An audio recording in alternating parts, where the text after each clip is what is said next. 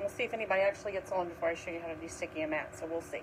It is Sunday morning and a lot of people are at church, so we're going to wait and see who shows up and who doesn't today. So far, so good. Nobody.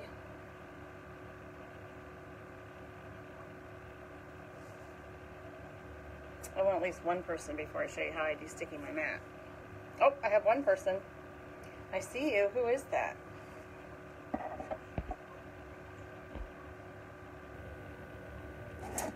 Okay, so I have one person, so you get the pleasure of seeing me how to de-sticky my mat um, the lazy way. Now, a lot of people say go out, get a pillowcase, which is the traditional way to do it. Um, they tell you all the, you know, perfect ways to do it.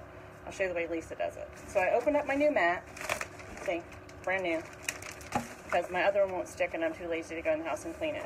I took off this piece, so my mat is like way too sticky.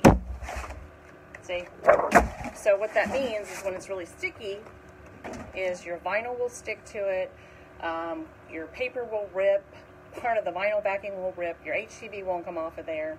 Um, it'll just make you cuss a lot. So, so you don't have to cuss. Now, this is really important. Let me show you how to do it. Are you ready? So every time you go to de-sticky your mat, this is what I want you to think of. Take your mat. Here's my sticky side, right? Flip it around. Now, the key to this is you have to have a clean shirt on. No hairs on it. No fuzz on it. I don't care if there's fuzz on mine, really. But, so you take your sticky side and put it on your shirt and do it a couple times. That's how you de-sticky a mat just like that. See how easy it is? I told you it's the Lisa way. It's not the traditional way to do it. I don't care. I'm not very traditional. See, I got some fuzz on there and some cat I don't care. And just do it several times, then your mat is not so sticky anymore, and then it, you should be able to cut your material without ripping the backing on it. And then cussing and saying a lot of bad words and having a bad craft day. So remember, sticky side to your shirt, and do it a couple times.